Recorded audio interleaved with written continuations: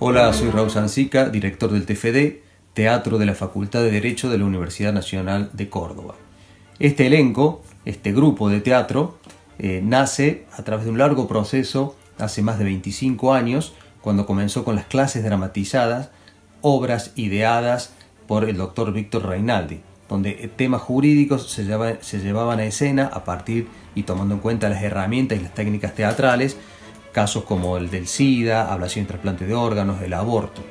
Luego, con el correr de los tiempos, hicimos una primera obra teatral y fue ni más ni menos que El gigante amapolas de Juan Bautista Alberdi, el padre de nuestra Constitución, que le escribió durante su exilio en Montevideo.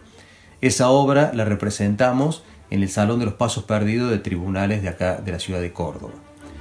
En el año 2018, a través del proyecto Ciencia para Armar, fuimos nosotros a los diferentes colegios secundarios.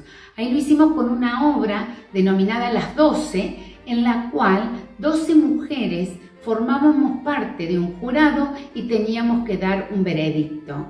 Allí nos sorprendió la reacción de los estudiantes, los cuales nos generó mucha alegría porque se comprometieron con la temática de la obra.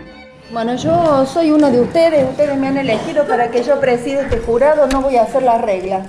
Pero hace rato que estamos escuchando todos los testimonios, todos hemos visto lo mismo, aparte los medios, este, ya sabemos cuál es el resultado de esto. ¿Qué les parece si votamos? Bueno, entonces vamos a votar. ¿Quiénes dicen que este, este muchacho es culpable? Culpable. Culpable. A ver, no culpable. ¿Qué? Yo voto no culpable. Oh. Ahora sabemos dónde estamos parados. Alguien está en la vereda izquierda. Hemos desarrollado actividades de extensión, cumpliendo con una de las funciones de la universidad. Algunas las hemos desarrollado con la intervención de la Secretaría de Extensión de la Facultad y otras con la Secretaría de Extensión de la Universidad.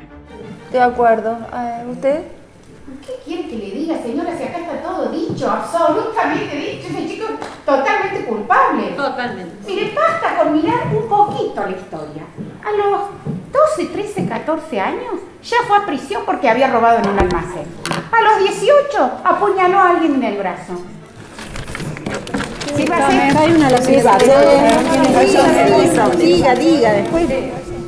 Culpable, culpable, culpable, culpable, culpable, culpable, culpable, culpable. Inocente. Culpable. Otro que movió la. Hay un voto a favor de la inocencia. Ahora son dos las que están a favor de la inocencia. Por favor. Seguiremos hablando. ¿Quién habrá sido? En el año 2018 presentamos los monólogos contra la violencia. Estos monólogos contra la violencia se transmitieron a través de lo que denominamos irrupciones áulicas. Cada uno de los miembros del grupo, con la complicidad de un docente a cargo de una clase, irrumpía inesperadamente en el aula y comenzaba a desarrollar un monólogo referido a alguna de las tantas manifestaciones de la violencia.